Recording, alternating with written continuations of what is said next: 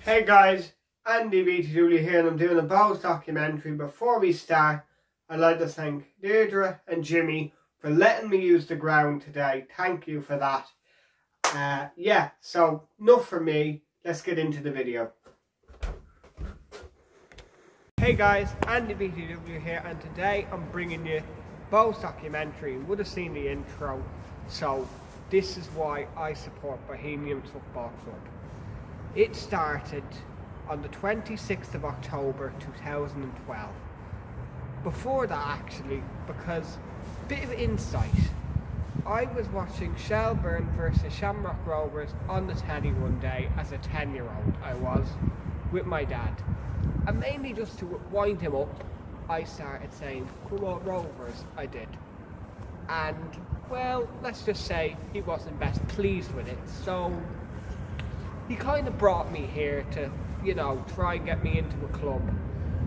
And yeah, so this is this is why I support Bohemians. So my first ever game was Bohemians versus Drogheda United. It was.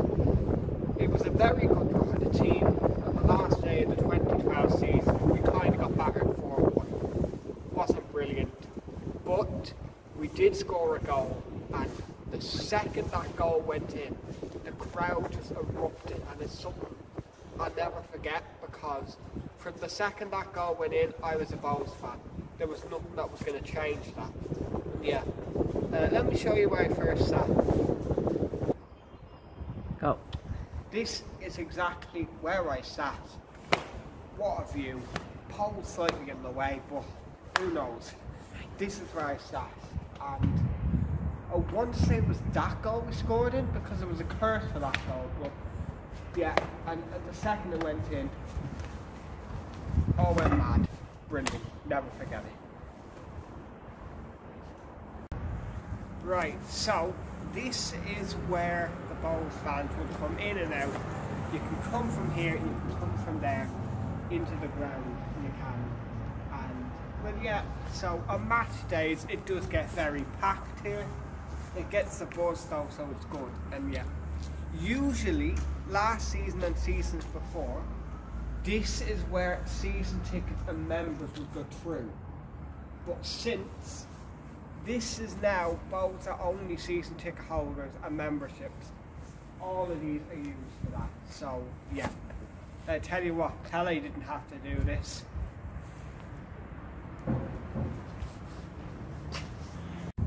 So I've also been asked a few times what makes Dalymount Park so special to me and everyone else who comes here.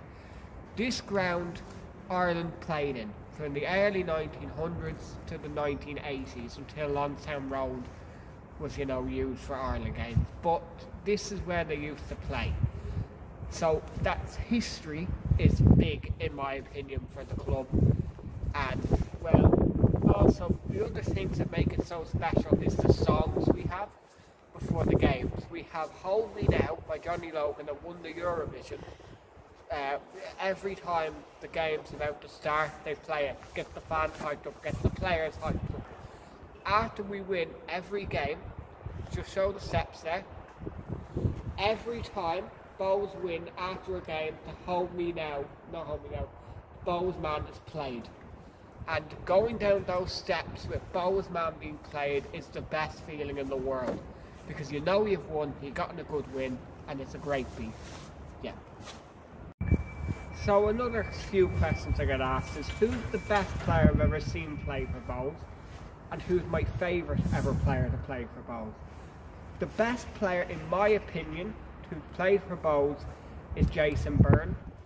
The amount of goals that fella scored was incredible. I know he was older by the time I started watching, but he was incredible. That the amount of goals he would get, unbelievable.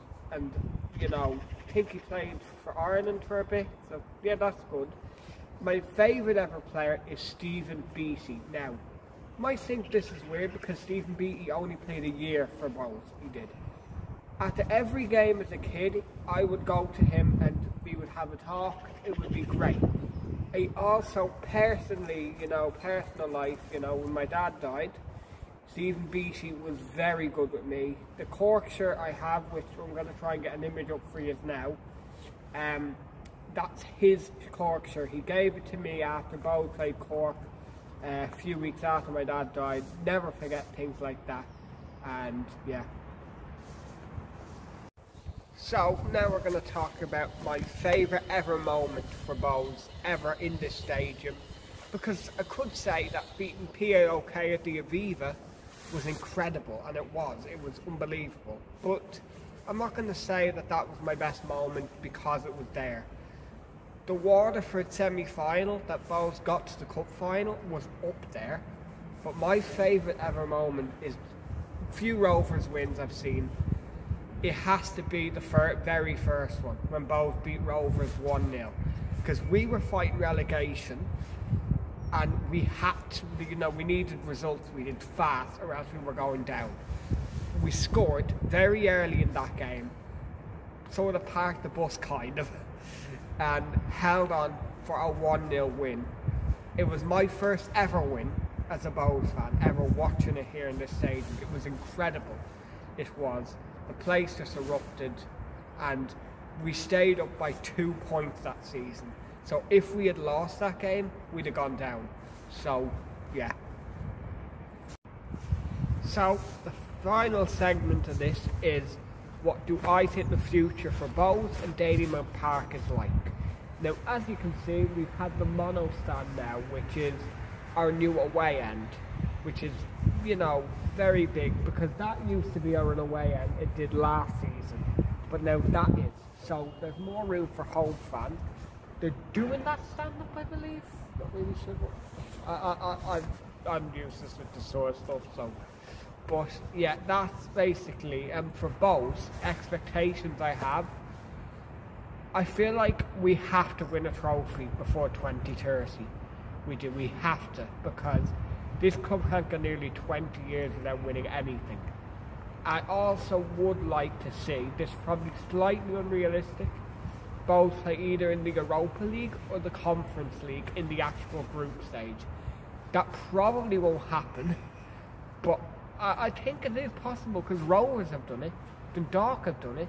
It's not completely out in the blue. I think Bohs could do it because we're on the up. So yeah.